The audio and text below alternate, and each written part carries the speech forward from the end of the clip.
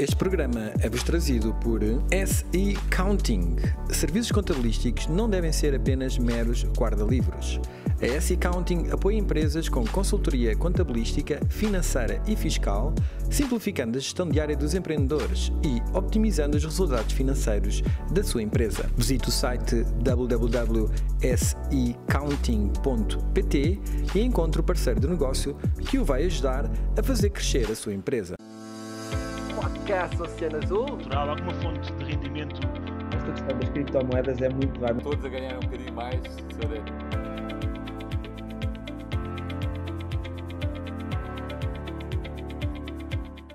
Olá, sejam bem-vindos ao podcast Oceano Azul para mais um episódio da série Fundadores. Hoje é dia 22 de novembro de 2022. Antes de começarmos aqui um aviso legal, todas as opiniões transmitidas neste podcast são pessoais e não devem ser consideradas como aconselhamento financeiro ou recomendação de investimento.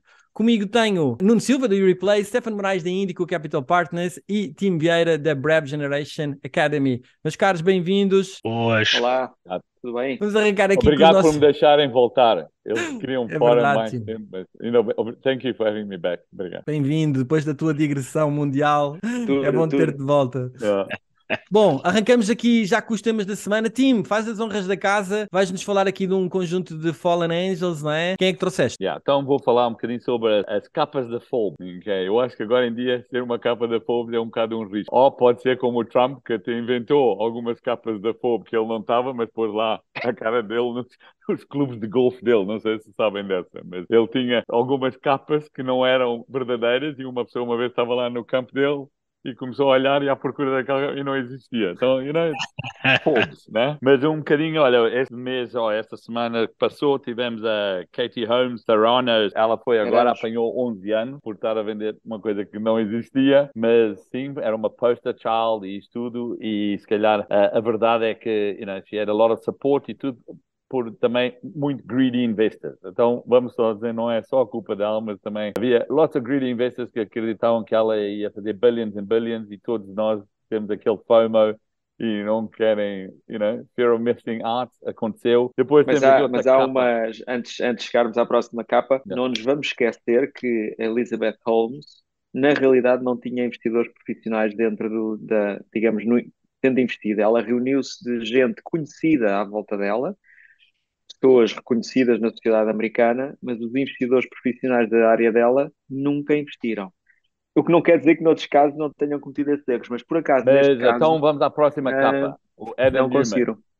O Adam Newman, acho que houve um SoftBank que Aí levou um sim. hard lesson, que teve um hard lesson, que viu que afinal, you know, we can't live on, on hope alone e, e, e que a tech company que é um Regus, ah, e, mas obviamente que ele não foi um total fraud, ele estava a fazer coisas, só que tinha um ego que se calhar era maior que o negócio. Descontrolado. Mas, eh, you know, no fim, ele agora abriu mais outra e entrou naquela coisa sólida eh, chamada crypto.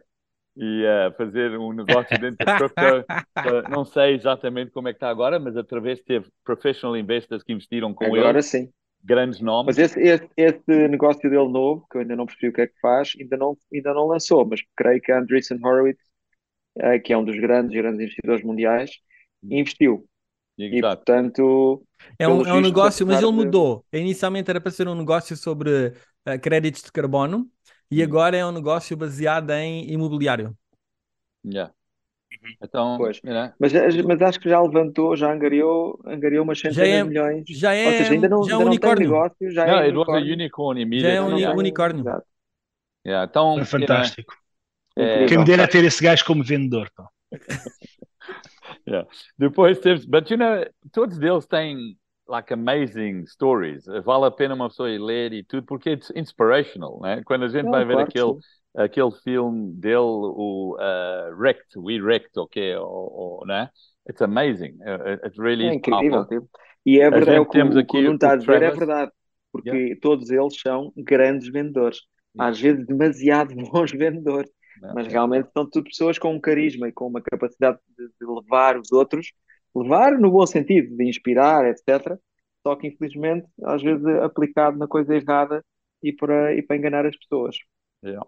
We then got Travis uh, Kalanick, é da Uber, que no fim, se calhar não havia de ter uma das capas que a gente estava aqui a falar mal, porque no fim ele he delivered, he did Uber, só que nobody likes an asshole, então se calhar é por isso que às vezes põem ele e falam dele nisso, porque o que ele fez, etc, etc.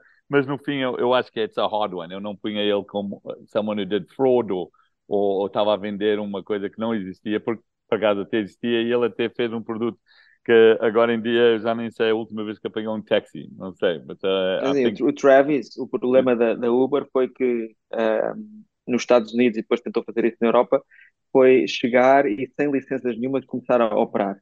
E isso causou uh, muitos problemas e muitos inimigos, nomeadamente os táxis, obviamente, mas muitos governos. Uh, e eles depois perceberam que se calhar deviam ter entrado de uma forma mais normal, em vez de entrar a partir de tudo. Mas não há se calhar, se calhar, é se calhar nunca tinham, se calhar, se calhar nunca tinham entrado, se terá sido de uma forma mais normal. Sem dúvida. Se calhar nunca tinham entrado. Não, e entraram de uma forma super, claro. E, e, no fim até entraram de uma maneira super normal. Entraram pelo Macron a fazer lobby, já encontraram que foi pago dinheiro, etc, etc. So there's a lot of ways to, to enter a market, né? Uh, muitas delas não estão no Imperial College of Business, mas um, you know, it's, uh, it's part of uh, being an entrepreneur. Depois temos aqui a última capa, que agora é uma cara bonita que entrou um, The Babyface Assassin, aqui o que parece, aquele SBF, como é que é? O, o, o do FTX, uh, que eu não vou falar porque temos Sam. alguém que vai falar hoje, o Sam.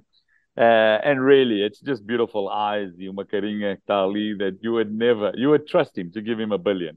Uh, não, eu, eu oh, nunca confiaria neste, naquela carinha, mas e neste caso, oh, Stefan, e neste caso não, não serve de justificação uh, o facto de, ao, ao contrário da Terranus, neste caso foram N investidores acreditados que puseram lá dinheiro. Não, é? não... não há a menor dúvida. Aqui foi totalmente, ele enganou toda a gente totalmente e as pessoas deviam ter visto melhor. Já vamos falar sobre isso. Ok, eu vou deixar essa para a gente falar mais. Mas, mas oh, oh, Stefan, só uma coisa, atenção, não, não falas muito mal desse indivíduo, porque ele pôs 10 milhões na Anchorage, por isso. É verdade, é verdade. E esses já cá cantam. Ou seja, esses já não vão lá nenhum.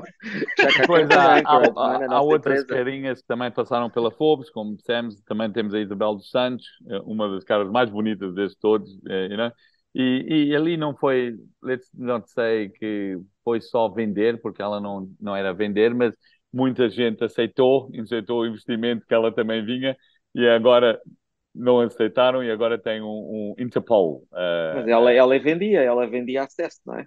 Yeah, so, um, Ao mais alto nível. Temos digamos. essa e depois também, não sei, aqui está a cara do Forbes do Ricardo Salgado. Ou não? Essa nunca teve na Forbes. não? Então, ok, não faz mal. Esse era, então. devia ser dono da Forbes. Não. Alright, so it's, it's interesting. É, é, é, bom a gente. Dino, Dino, Dino Forbes. Yeah, estamos de olhos abertos e, e ver, but it is what it is. Eu acho que muitas dessas pessoas também não são só eles que estão de culpa, mas é todos investors, é toda a gente que não queria perder a Antonet. E depois eu, eu hei de falar na, no próximo ponto numa história também interessante. Ok, good. Como é que ela se chama, a de Angola? Isabel dos Santos. Yes, yeah. Isabel dos Parece Santos. um gajo que eu conheço. É, estou yeah. com amnésia, estou a escrever um livro sobre as minhas memórias, mas estou com amnésia. yeah, yeah. Ela, a, a, a, Isabel dos Santos andava pelo Qatar. Quem anda pelo Qatar também é o Cristiano Ronaldo, que tem sido notícia, a notícia mais forte das últimas semanas, depois de uma grande entrevista que deu um, no outro dia num canal para ver se rebentava ali a corda com o Manchester United. Stefan, que é que escolheste aqui o Cristiano Ronaldo? É assim, eu escolhi o Cristiano porque, apesar de, de ele ter dito coisas que obviamente são um bocadinho chocantes, eu acho que se não for o Ronaldo, que é basicamente bilionário, uh, não precisa do Manchester United para, para nada nem de ninguém, sinceramente. Não tem nada a provar a ninguém, como ele já próprio disse, em termos desportivos.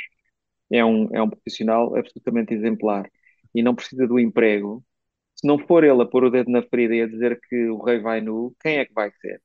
É, haverá ali questões de entrevista, eu também só vi a primeira parte, que a pessoa pode dizer assim, pô, não tem um bocadinho de mau gosto, no sentido, há coisas, enfim, de lavar roupa suja, mas na verdade o que ele disse na entrevista foi, eu vim para este clube outra vez e nin, nos últimos 12 anos ninguém investiu no clube, não investiram nas infraestruturas, não investiram na parte, digamos, de nutrição, na parte de, de instalações e por aí fora, e portanto o Manchester United caiu por culpa realmente dos donos do Manchester United que não puseram mais um centavo no clube. E, portanto, ele simplesmente, como pessoa já de muita experiência, de mais de 20 anos de carreira profissional, está a dizer: olha, assim, assim não dá, não é? Não só me trataram mal, e ele, obviamente, é uma super estrela, merecia mais respeito, e portanto ele tem, ele, ele tem, tem a hipótese e tem uh, o direito de ter ego por, por, tudo o que fez e, e, por quem é. Como ele está a dizer uma coisa muito simples: olha, este clube é mal gerido, portanto não admira que o clube não vá a lado nenhum e que não tenha resultados nenhum esportivos. Se não for ele a dizer, quem é que vai dizer? Eu, se fosse adepto do Manchester United, por acaso até sou, desde pequenino, porque tinha as mesmas cores do Benfica e, portanto, uh, um equipamento quando era pequenino e tornei-me adepto do Manchester United. Uh, mas se fosse um dos adeptos fervorosos que vive lá, agradecia-lhe e, e, e, e, começava a questionar o que é que se passa num dos grandes clubes do mundo que realmente está pelas horas da amargura há muito tempo. E a resposta foi dada pelo Ronaldo. Portanto, eu acho que é inequívoco que nós temos que apoiar o Ronaldo por toda a história que ele tem um, e respeitar uma pessoa que diz a verdade, basicamente. Pronto, a verdade é inconveniente, mas eu acho que o Ronaldo está de parabéns. E se não for ele a dizer, quem é que vai dizer aquilo? Os outros que precisam dos empregos e que não querem incomodar é assim, ninguém. Ó oh, Stefan, desculpa-me estar a interromper, mas em dezembro de 2001, o, o Zlatan Ibrahimovic já tinha falado sobre isso.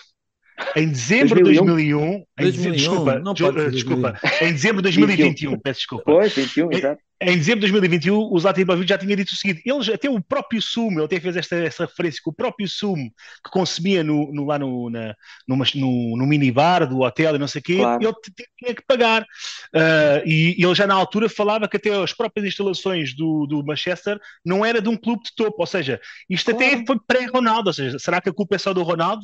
Temos o Zlatan a dizer a mesma coisa? Ah, claro, o Zlatan também é tipo com, com grande ego e com, e com Exatamente, e, e, e, com postura não, para dizer isto isto, não é? Porque não é, não é um gajo qualquer claro com 20 anos que vai dizer isto, que sujeita a, a cancelar a carreira do, dele, claro. não é? Agora estes já são é uns colossos.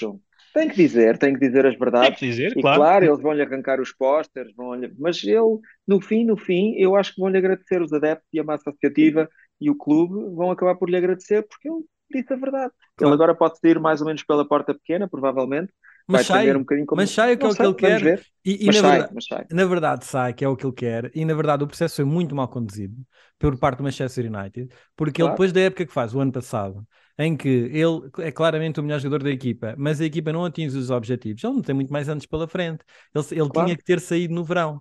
O clube não o deixou sair. Vai buscar um treinador que não conta com ele e que é, é legítimo. O treinador quer uma equipa que pressiona claro. alto, etc. E acha que o Ronaldo não se enquadra e não se enquadra. O Ronaldo, é, o Ronaldo é um asset. Para eles, o Ronaldo não é um ser humano, Sim, não é uma estrela mas... do mundo. Oh, Nuno, mas o futebol é um asset que traz oh, Nuno, publicidade, traz muito dinheiro ao Manchester e eles estão-se cagando para o Ronaldo. Ronaldo ah, é bem, mas é isso que eu estou a querer um enunciar, que é, voltamos ao tema que o Stefan estava a dizer, o clube é gerido como uma cash cow e, um, e, um, e uma máquina de fazer marketing, mas como Exato. Investimento não há, é mesmo só extorquir o, o, o claro. tirar de lá o máximo possível. Portanto, não o deixaram sair, ele tinha a oportunidade de sair, teve propostas, não o deixaram sair, quiseram ficar com ele. Depois o treinador embirra porque não quer o gajo lá, depois tanto diz que não o mete a jogar para o proteger porque tem muito respeito com ele, depois como a seguir tentou meter a 3 minutos do final de um jogo, pá, um gajo claro, tem 5 bolas de ouro, não entra claro. a 3 minutos do final do jogo, metes outro gajo claro. qualquer, não é? é o último, não vais pôr aquele. Quer dizer, geriram isto muito mal. Ele aproveitou este momento para arrebentar a corda e, e fez-o bem, pronto, e agora, agora ficam eu, eu, eu todos fragilizados. Yeah, eu concordo 100%, eu acho que para o Ronaldo, alguém pode falar a ele. You know? Eu só comecei a olhar através a, a, ver futebol espanhol porque ele estava lá, uh, futebol italiano porque ele estava lá. Uh, até eu não gostava nada do Man, Man United porque eu sou do Tottenham, é uma, you know? mas comecei a ter crer que o, o Man United ganhasse, ganhasse. e ganhasse. Casa do Sério, eu, eu, epá, era, um, era estranho, mas era o que acontecia. E, e e, e, e até se né, eles iam ganhar aos Spurs, mas se o Ronaldo tinha posto um gol, eu sentia ok. It's weird, né? Mas, uh, Como foi o Ronaldo, é desculpa. Falar, alguém teve que falar, falou. Agora, eu, eu gostava mesmo que nesta Copa do Mundo, epá, se ele jogasse, era bem fixe, então um gol, dois, três, quatro ou oito, não faz mal.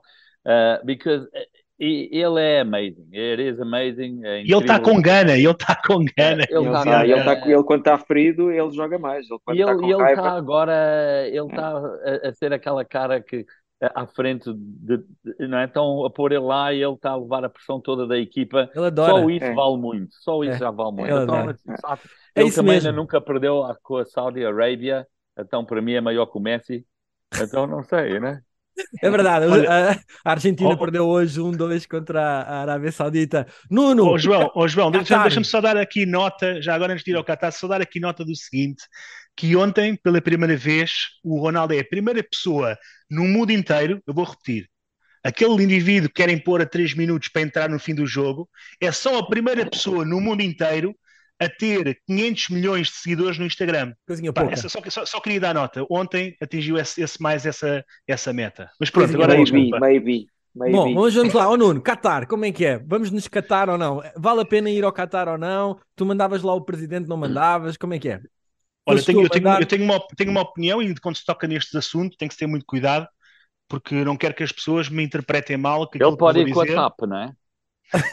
para ir, a ir tem de ir na TAP, senão é um escândalo. Exato. Olha, por acaso não, sabem que eles agora foram, foram para, para o Qatar num avião fretado uh, uh, que não era da TAP. Era um avião ah. fretado que não era da TAP. Enfim, mas isso são outros 500. Uh, relativamente ao Qatar, a minha opinião é muito simples. Se queriam efetivamente boicotar o, o Mundial realizado num país que não respeita os direitos das pessoas, entre outras coisas, simplesmente as seleções dos países ocidentais que estão nessa postura não iam ao Mundial. Consertavam todos a sua, a sua, a sua convicção e simplesmente não iam ao Mundial do Qatar. Isso sim era uma mensagem muito forte é. para o mundo e para todos os países. Não é agora todos terem aceito, todos estão lá uh, contentes a, a, a, assistir aos jogos e agora não, agora o presidente não vai. Eles querem lá saber, eles nem sabem quem é o Marcelo. Eles querem lá saber se o Marcelo ou, ou o António Costa vão ver o. Não interessa, eles não querem Acho que a hipocrisia, mais uma vez, daqui de uma facção que nós temos em Portugal e de algumas pessoas que se deixam ir em, em conversa da ladinha. Acho muito bem, já que Portugal aceitou participar nesta Copa do Mundo, acho muito bem que vá lá ao Qatar ajudar a nossa equipa e os nossos jogadores saberem que está lá o mais alto representante da nação. De outra forma, acho que não faz sentido nenhum estar a boicotar uma ida dos, da, da, da, principal entidade representante portuguesa com base em, em, em, ações populistas. Não sei, esta é a minha opinião acerca do tema. Não sei o que vocês acham acerca disso. Olha, e sobre a ah, cerveja? Eu, eu concordo. E sobre a cerveja, tens alguma opinião? É, pá, sabes que da cerveja, da cerveja é assim, Muito pior isso, é. uma cerveja, lá está, mas também quem é vai para o Qatar é, pá, tem que estar preparado eu para isso. Eu acho que as pessoas também, é assim, é, se, se, no país deles é proibido beber cerveja ou álcool, há que respeitar isso. Eu acho que não é, não é, tanto, não é tanto por aí, o que é mais estranho é terem decidido isso agora em cima da hora. Imagino que dê alguma confusão com patrocinadores, se é que há algum patrocinador dessa natureza. Agora, realmente aqui esta questão do, do Qatar é lamentável que haja imensos uh, eventos desportivos do mais alto nível.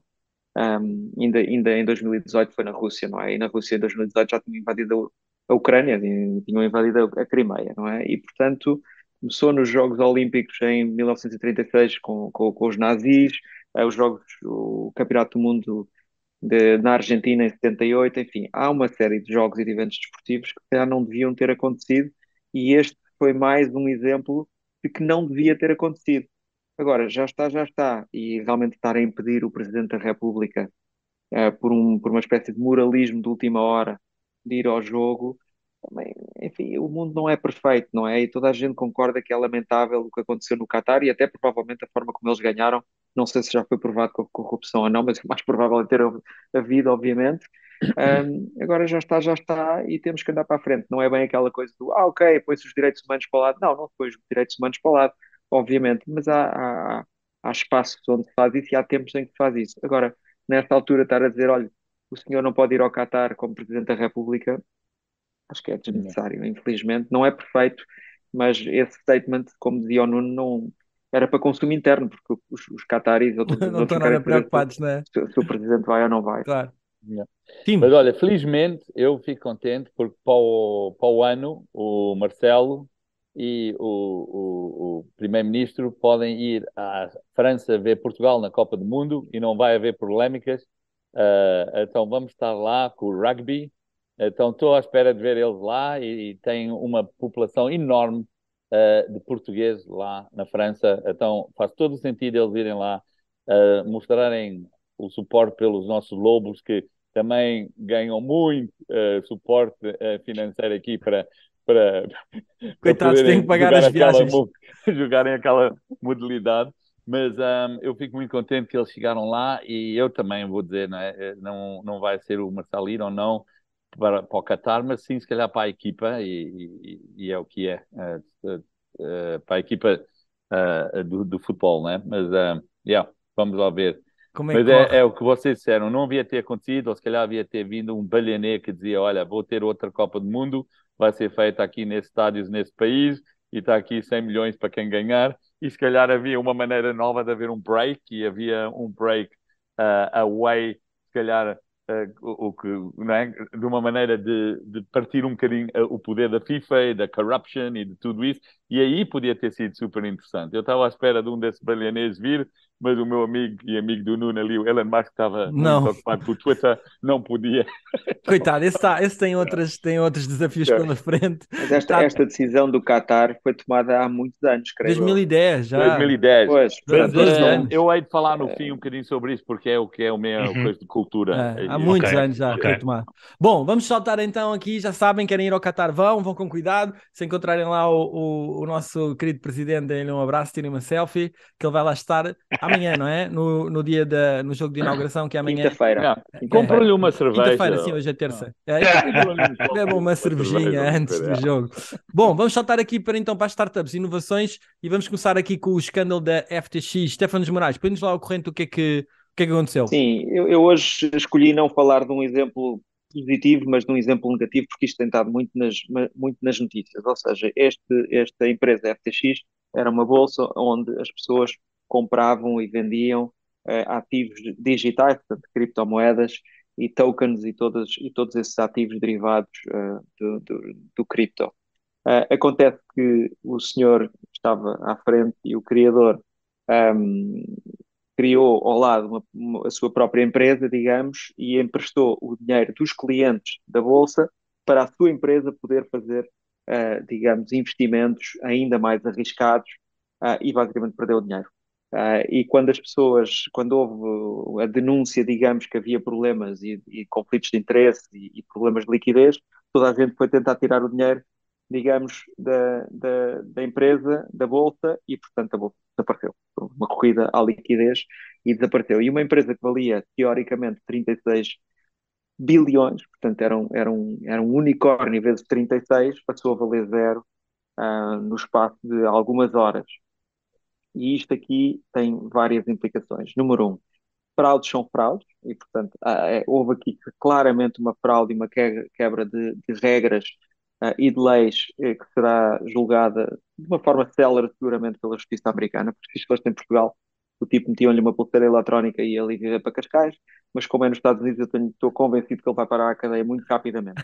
Uh, isso, isso, é bom. Uh, e vai ser mais rápido ainda do que a Elizabeth Holmes, porque há muita gente que perdeu dinheiro, não é? Mesmo muita gente. E depois, o segundo é que isto só mostra. Não só, e gente uh, grande. É que se fossem só, grande, se fosse só pequeninos a perder dinheiro, enormes. a coisa ainda passava. Mas não, é de tubarões. Aliás, o fundo de pensões, o fundo de pensões dos pensões, professores, do Ontário. Claro, isto é um bocadinho a questão também do, do da, enfim, da manada, não é? Portanto, vai um à frente e depois os outros vão todos atrás. E houve nomes sonantes de investimento, digamos, nossos colegas, bastante maiores do que nós, que uh, investiram forte e feio e perderam tudo e foram atrás daquela personalidade meio excêntrica, meio genial do, do, do SBF, como ele era, como ele era conhecido. E, e, e é engraçado, há um, há um post, um podcast em que um dos investidores, creio que da Kleiner Perkins, um, descreve como, quando eles estavam a pensar em investir, e, e disseram à equipa, digamos, da, da, do Sam Bankman-Fried, uh, olha, você tem que ter um conselho de administração, tem que ter contas ordenadas e tal, e a resposta do outro lado foi, fuck you, eles não investiram, e ainda bem, mas isso dá para ver, essencialmente, o, o descontrole total e o ego fora de controle de muitas das pessoas ligadas ao movimento cripto. E é totalmente contraproducente e que só danifica de uma forma óbvia a imagem e o potencial da tecnologia, porque quando se diz assim, isto é o fim do cripto, não é o fim do cripto, está cá para ficar e é mais, uma, é mais um episódio. Mas realmente não ajuda que tenha havido, durante esta última década, eu lembro-me também do fenómeno dos ICOs, em que se venderam white paper uh, e que se fez levantamento de capital de dezenas de milhões, coisas totalmente inúteis que ou eram esquemas totalmente fraudulentos ou eram simplesmente coisas inúteis que o dinheiro praticamente uh, desapareceu. E sempre com base numa superioridade moral das pessoas que são, digamos, os verdadeiros believers, os, os hodlers, aqueles que nunca vendem o cripto e que acham que o mundo descentralizado é moralmente superior ao mundo centralizado, quando depois na prática é centralizado na mesma. Portanto, isto não é tratar o cripto como uma religião, não é uma boa ideia. Uh, e o que acontece é que isto danifica imenso a credibilidade de, um, de, uma tecnologia que é muito importante e que vai realmente mudar o mundo, não só na dimensão financeira, mas na dimensão de todos os sistemas de informação e como nós nos organizamos em termos de, de, de dados e de, e de controle de transações no mundo inteiro. E só mostra uma última coisa, que é, é fundamental que haja mais regulamentação rapidamente para que estes ativos sejam regulados tal como outros quaisquer ativos financeiros nas bolsas, digamos, normais, onde também há fraudes, também há problemas, também há aldrabões e também há casos de sucesso. A diferença é que neste caso não havia, não há regulação nenhuma e, portanto, é muito mais fácil que aconteçam este tipo de fraudes e de, e de cambalaços e de problemas. Um, agora, é uma surpresa, não é surpresa nenhuma como esta, ainda vai haver muitas, enquanto, enquanto não se puser ordem e, digamos, as autoridades ah, e os reguladores, e os governos, e os Estados, e os países não decidam como regular. Regular não é matar, é meter ordem no mercado, é, é dizer, olha, as regras do jogo são estas, e podes fazer isto, mas não podes fazer aquilo para, para a defesa dos teus, dos teus investidores. Neste caso não havia, e foi uma queda abrupta, talvez a maior queda de sempre, de um, de um empreendedor que realmente achava que era Deus, e afinal uh, não é nada e é um aldrabão, como os outros e vai passar uns aninhos na prisão, de certeza. Só para clarificar aqui uma, uma questão: o, a, FT, a FTX, um, eles tinham a FTX e a FTX Estados Unidos. A FTX Estados Unidos era regulada e cumpria todos os uh, parâmetros. Agora, a FTX e a Alameda Research tinham sede nas Bahamas e, como tal, não estavam uh, ao abrigo da jurisdição uh, dos Estados Unidos e foi onde aconteceu esta atrapalhada toda e eles não tinham qualquer tipo de controle. Mas mesmo, mesmo a regulação americana não é suficiente, ou seja, tem que haver muito mais regulação igual à que acontece nos mercados financeiros normais, porque se isto fosse um, um, um banco normal, Uh, digamos, uma corretora normal, mesmo que tivesse uma subsidiária na, nas Bahamas, tinha tido muito mais, tinha tido muito mais, havia muito mais intervenção uh, de auditores e de, e de, e de controle, digamos, de vários mecanismos de controle que existem, não impedem que existam fraudes, obviamente, de vez em quando existem Madoff, existem muitas coisas que acontecem e há gente muito aldrabona no mundo inteiro. Mas ao menos existe alguma coisa e o problema é que neste momento em cripto há muito pouca regulação e uma das nossas empresas da Ancorage, o CEO Diogo Mónica, está sempre na televisão nos Estados Unidos a dizer, por favor, regulem mais o mercado, porque isso é que credibiliza digamos, o, o mercado e o transforma em algo uh, normal, onde as pessoas podem ganhar e perder com cuidado, mas não serem totalmente enganadas, como neste caso.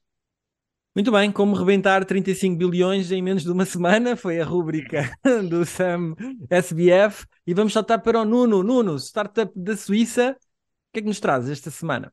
Olha, esta semana trago-vos uma startup suíça, como disseste bem, chama-se Morant.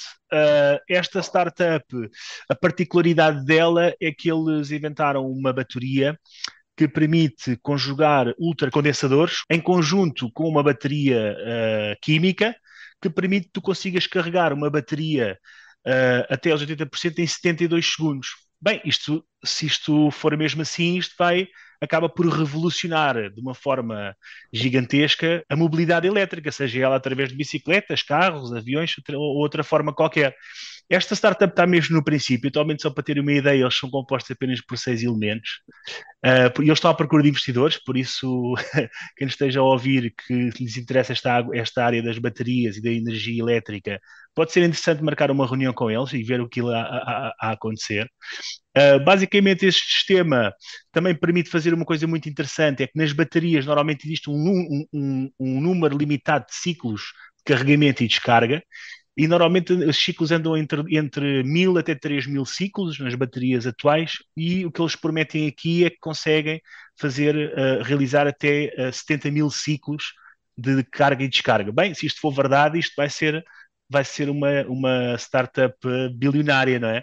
Agora vamos ver se isto é verdade ou não, tem que se validar. Uh, acho que era interessante as pessoas porem os olhos nisto. Se isto efetivamente for verdade, pode revolucionar efetivamente toda a mobilidade elétrica. Obviamente que as grandes as grandes marcas também, eu sei que o Elon Musk e a Tesla também compraram uma empresa que é a Maxwell, o ano passado, que é exatamente para fazer esta tecnologia híbrida. Isto porquê? Porque o carregamento de um condensador é extremamente mais rápido que, com o carregamento de uma bateria química e utilizando estas, ou seja, o futuro, utilizando estas baterias híbridas com com uh, condensadores e com baterias químicas vai resolver o problema, que é o que eu tenho atualmente, por exemplo, ter que esperar 20 minutos para o meu carro carregar até aos 80% e assim desta forma eu em poucos minutos, em 2, 3 minutos consigo ter o carro uh, carregado.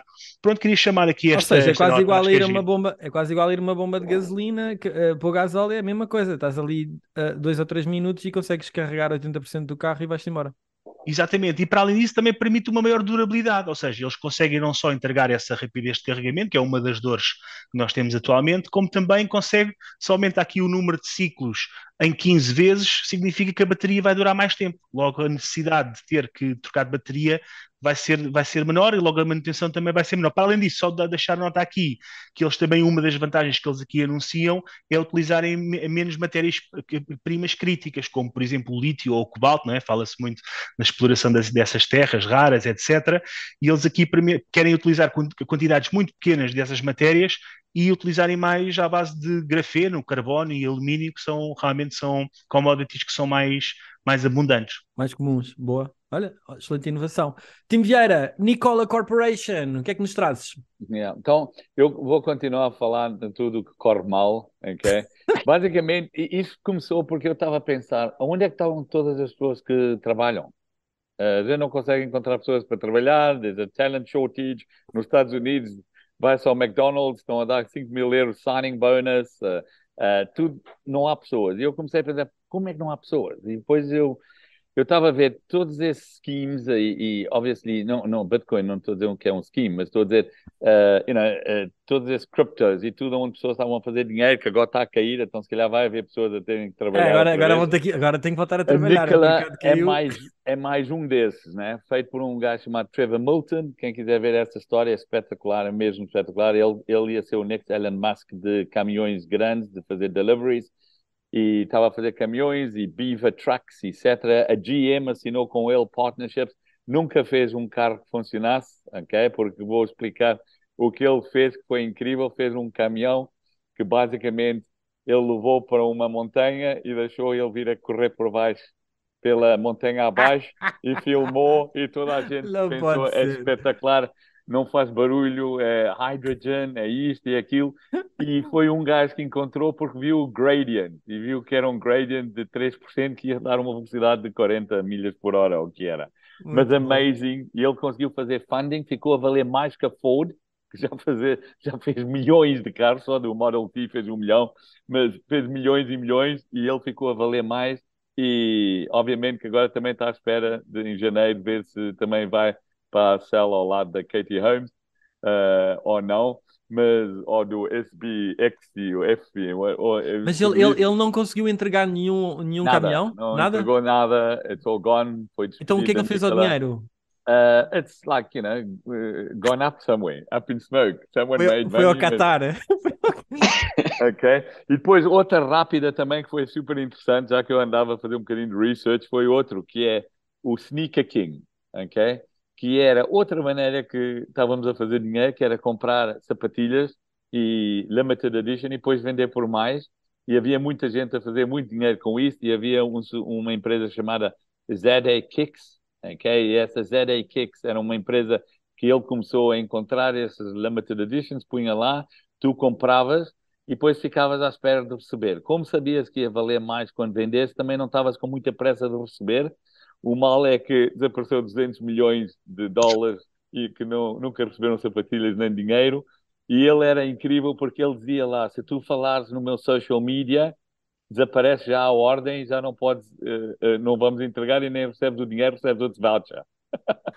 então, então, todos que tinham lá dinheiro não falavam no mídia, tudo parecia que estava a correr bem, mais que 20 mil compradores que compravam para revender, e perderam 200 milhões. So there is amazing startups out there, guys.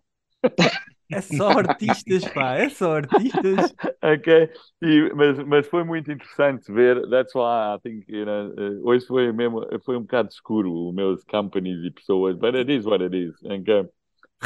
é um alerta à navegação para terem cuidado quando me investem. Isto está cheio de gente, artistas. Muito bem, saltamos para a última temática uh, do nosso programa, a parte de cultural. Nuno, que livro é que nos traz este, neste episódio? Estamos a chegar ao Natal e então eu quero-vos apresentar um dos livros mais vendidos na Amazon Brasil, que é de um português. Não sei se vocês conhecem, é Nuno M. Silva. Fora de uh, e torna-te fora de série. Foi escrito por uma pessoa que não sei se vocês conhecem, que é, que é, o Tim Vieira, e então pode ser uma excelente prenda de Natal. Porquê? Porque quando fiz este livro, não fiz por uma, uma questão de ganhar dinheiro, nem nada, até porque quando se quer ganhar dinheiro, não, não é através do livro que o, que o vais fazer, mas quis deixar um legado. Sou, sou pai, entretanto, queria deixar um legado. Minha, a minha função, eu não sou escritor, mas achei que devia deixar um legado e escrevi-o fora de série, com todo o coração, suor e lágrimas para que as pessoas depois que o comprassem conseguissem pelo menos ter a minha visão do que é que é ser um fora de série é, e que estratégias é que eu adotei para que efetivamente pudesse mudar a minha vida e, e, e, ter uma vida que eu acho que é, acaba, acaba por ser interessante da minha perspectiva, nem toda a gente pode concordar, obviamente, nem toda a gente se calhar tem a a mesma ideia que eu, mas pode ser interessante perceber qual é que é a minha perspectiva de ser um fora de série, que estratégias, tenho estratégias concretas acerca de como é que, como é que consegui fazer algumas coisas, e começo basicamente com uma parte que é a parte pessoal, como é que tu te podes tornar um fora de série a nível pessoal, porque antes de seres um bom fora de série a nível profissional, seja em qualquer área que for, eu acho que tens de ser boa pessoa, tens de ser boa vibe, tens, tens de tratar de ti primeiro, para depois quando cresceres e quando ganhares dinheiro, uh, para ser, ser, seres melhor, porque o dinheiro é um amplificador, não é? Se tu fores uma merda, ele vai te tornar pior. Se tu fores um gajo, um gajo porreiro, ele vai te tornar melhor. Deixa aqui essa sugestão, é um bocadinho, é um bocadinho, não vou falar muito mais, porque teria a ser, é um bocado suspeita, mas já sabem. Tornam-te fora de série, podem comprar aí no, no site nunemsilva.com, por isso se tiverem curiosidade em ler aqui a minha perspectiva do que é, que é ser um fora de série, vão lá e compre o vosso livro. E na Amazon também? Right. Também se pode comprar na Amazon? Não, não, podes comprar na Amazon, o livro está a vender em todo o mundo, também está em algumas livrarias. É engraçado que eu nunca pensei em vender no Japão, uh, vender uh, em, na Inglaterra, Estados Unidos, mas no Brasil realmente foi um fenómeno. Uh, e vendemos milhares de livros no Brasil. Tá, mas é em português sempre ou está traduzido é. para outras línguas? No, no, no, Brasil, ele não está totalmente em português do Brasil, mas tem algumas adaptações ah, para que fosse melhor entendível pelo, pelo, pelo brasileiro, não é? Pelo, pelo português do Brasil. Fantástico, muito bom. Tim Vieira, Outra vez futebol, aquele, já viu o documentário, espetacular, partilha connosco. Stefan, precisa desse livro aí atrás de ti, tira já essas enciclopédias que isso já passou, hein? não, um fora de série.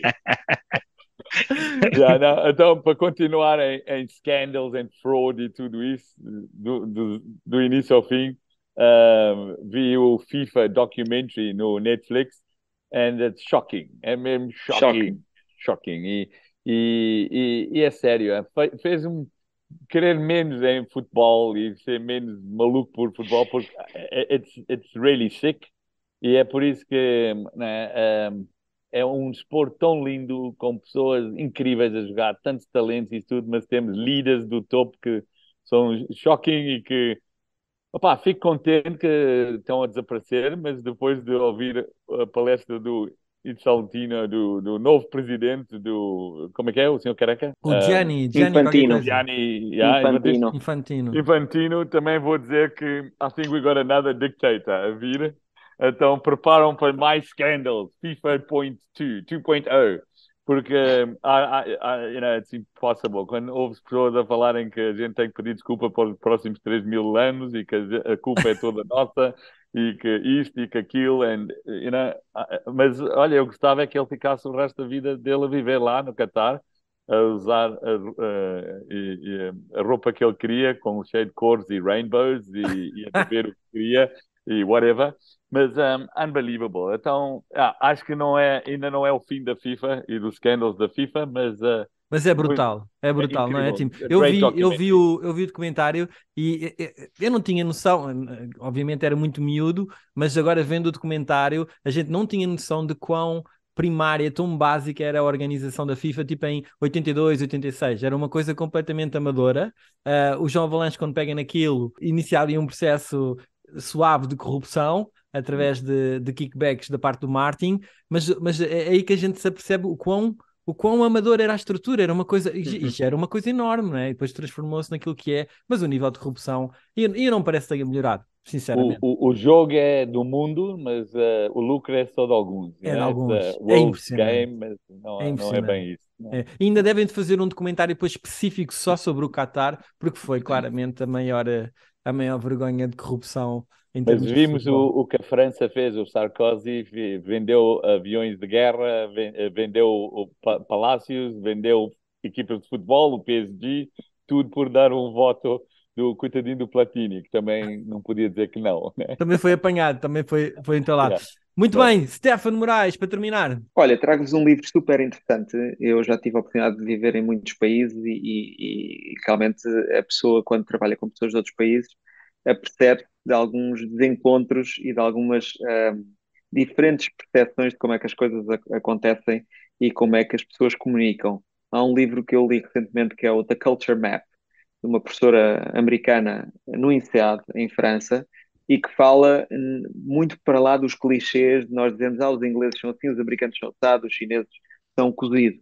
Tem muito a ver com uma série de dimensões culturais que ajudam a que quando, quando a pessoa percebe da forma como aquilo está uh, explicado no livro, as dimensões de comunicação de alto contexto, baixo contexto, tipos de liderança, tipos de processo de decisão, uh, a forma como se dá feedback, digamos, numa avaliação de performance.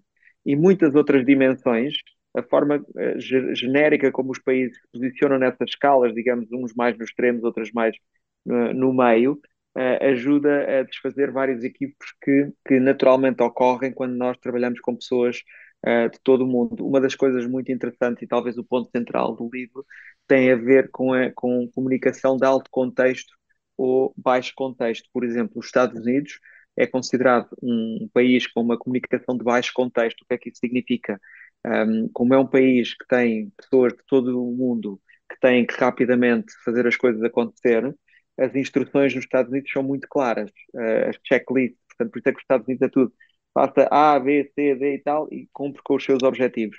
Uh, versus um país como, uh, não sei, a China ou o Japão, em que, ou a Índia, como eles dizem, que são comunicações de alto contexto, em que há muitos há muitas coisas que se subentendem e há uma expressão engraçada que creio que era tem que saber ler o ar penso que é uma expressão japonesa ou algo do género, em que, portanto, o que as pessoas dizem e o que realmente querem dizer não é assim tão explícito. E se a pessoa não tem o contexto todo cultural e local, não percebe nada e isso gera imensos, imensos equívocos. E depois Portugal situa-se ali no grupo dos países uh, latinos da Europa, que está mais ou menos a meio da escala entre o muito contexto e pouco contexto, mas é, é super interessante. É um livro para, para quem trabalha com estrangeiros, e agora há tantos estrangeiros em Portugal que eu acho que toda a gente, de alguma maneira, contacta com muitos estrangeiros. É um livro muito interessante porque muitas das coisas que nós não percebemos ou eles não nos percebem a nós estão ali explicadas de uma forma sistemática. Olha, ele, até coisas como, por exemplo, estar a horas ou não estar a horas. O que é que é estar a horas na Suíça? O que é que é estar a horas no Brasil? E o que é que é estar a horas em Inglaterra ou em Portugal? São percepções muito diferentes. E isso pode significar estar mesmo a horas ou chegar uma hora atrasada. Isso é estar a horas em diferentes, em diferentes países. Portanto, uh, recomendo vivamente, um, ehm, porque é, um, ehm, dá um contexto ótimo para quem realmente quer compreender como trabalhar uh, em muitas culturas ao mesmo tempo. Muito bem, fica aqui mais uma sugestão cultural dos nossos intervenientes. Eu queria aproveitar para finalizar, para, para dar aqui os parabéns a vocês. O, o, time, a Brave Generation está imparável, tu andas pelo mundo inteiro, pá. É, tem sido fantástico acompanhar este sucesso de implementação. Nuna e o replay continua também non-stop, pelo Médio Oriente também, o que é bom. Estás no Qatar? Tens, tens no Qatar ou não? Ainda não, ainda não. Ainda não, mas está. Mas ainda mas, lá... já, mas já temos, já estamos com a conversar para, para fazer lá umas coisas engraçadas. Fantástico. Não só no Qatar, como também na Arábia Saudita e Oman. Muito bem. E por último, parabéns ao Stefan também. A Índico levantou mais um fundo de 25 milhões, portanto, se estão a precisar de cheques, batam à porta da Índico, mandem mails, liguem para o Stefan, façam stalking no LinkedIn, que eles estão cheios de dinheiro para apoiar projetos novos, também é, também é importante. E pronto, concluímos mais um episódio da série Fundadores, podcast Oceano Azul, com Nuno Silva, Stefan Moraes e Tim Vieira. Espero que tenham gostado e já sabem, esmaguem o botão gosto, partilhem com os vossos amigos e subscrevam o podcast. Até ao próximo episódio. Fiquem bem. Podcast Oceano Azul. Natural, alguma fonte de rendimento. Esta questão das criptomoedas é muito válida. Todos a ganhar um bocadinho mais, se eu der.